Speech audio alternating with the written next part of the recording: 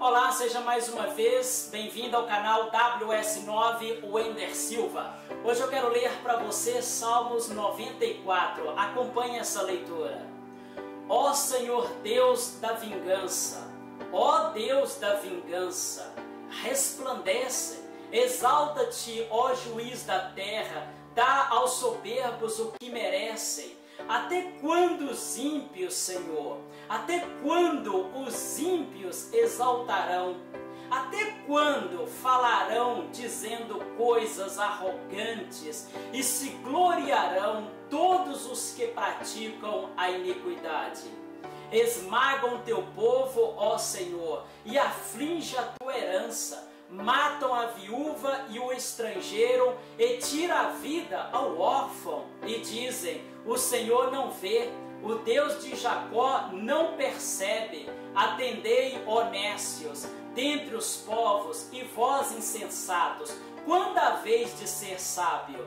Aquele que fez o ouvido não ouvirá? Ou aquele que formou o olho não verá?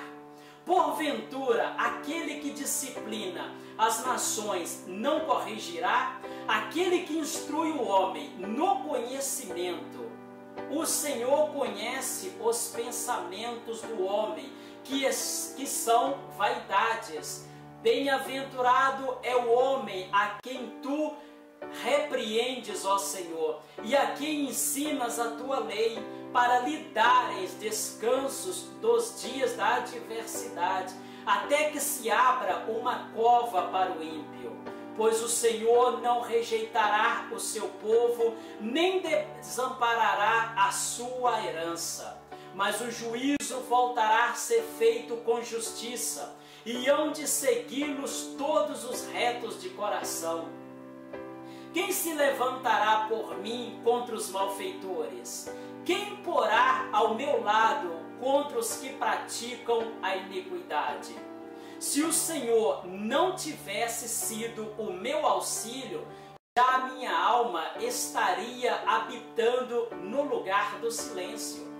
Quando eu disse, o meu pé resvala, a tua benignidade, Senhor, me susteve quando os cuidados do meu coração se multiplicam, as tuas consolações recreiam a minha alma.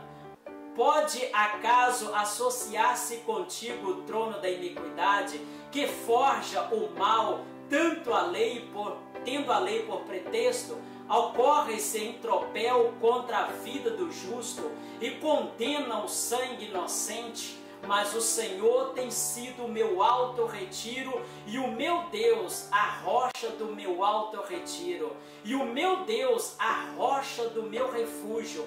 Ele fará recair sobre eles a sua própria iniquidade, os destruirá na sua própria malícia. O Senhor, nosso Deus, os destruirá. Esta é a sua palavra de hoje. Eu te vejo aqui amanhã com mais uma palavra de Deus.